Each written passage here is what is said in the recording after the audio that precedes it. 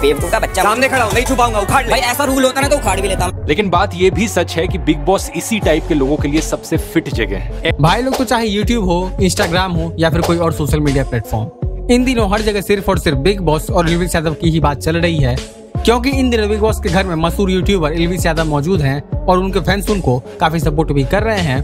और सिर्फ़ इतना ही नहीं बहुत से ऐसे सेलिब्रिटी भी हैं जो इन दिनों खुलकर एलविस यादव का सपोर्ट कर रहे हैं। वहीं अब ध्रुव राठी जिनके बारे में ऐसी खबर सामने आ रही थी कि वो भी बिग बॉस के घर में वर्ल्ड का एंट्री लेने वाले हैं उनके तरफ़ से आज एक वीडियो अपलोड की गई है जिसमें उन्होंने न सिर्फ़ इस बात को गलत बताया है साथ ही एलविस यादव के बारे में भी बात की है और बताया है कि क्यों एलविस यादव भी बिग बॉस जीतेगा। तो चलिए आपको भी वो क्लिप दिखाते हैं। समय पर ये लड़का सिद्धार्थ यादव इसने एक यूट्यूब वीडियो बनाया था जिसमें इसने कहा कि हमारे देश में कितने वेले लोग हैं कि वो सलमान खान की फ़िल्में देखते हैं जिनका कोई सर पैर नहीं होता। हमें ये अंदाज़ा होता है कि हमारे देश में कितने खाली बैठे हैं। जिनको ऐसी मूवी देखने में मज़ा आता है जिन मूवीज़ का ना कोई सर है पैर है पर सल्लू भाई की मूवी है।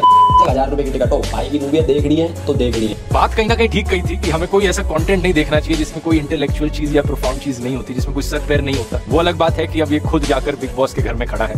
बेवकूफ़ का बच्चा सामने खड़ा हो नहीं छुपाऊँगा उखाड़ ले भाई ऐसा रूल होता ना तो उखाड़ भी लेता। लेकिन बात ये भी सच है कि बिग बॉस इसी टाइप के लोगों के लिए सबसे फिट जगह है। ऐसे ही लोग डिजर्व करते हैं बिग बॉस में जाना और इनफैक्ट जीतना भी। मुझे यकीन है कि ये शो को जीत भी सकता है क्योंकि कुछ स्पेसिफिक क्वालिटीज हैं जो इस शो के कॉन्सेप्ट में चाहिए होती है, जिसके बेसिस पर ये पूरा शो चल पाता है। आग तो भाई लोग, इस चीज़ को लेकर आपकी क्या राय है? नीचे कमेंट करके ज़रूर बताना। साथ ही ऐसी और अपडेट्स के लिए चैनल को सब्सक्राइब भी कर देना।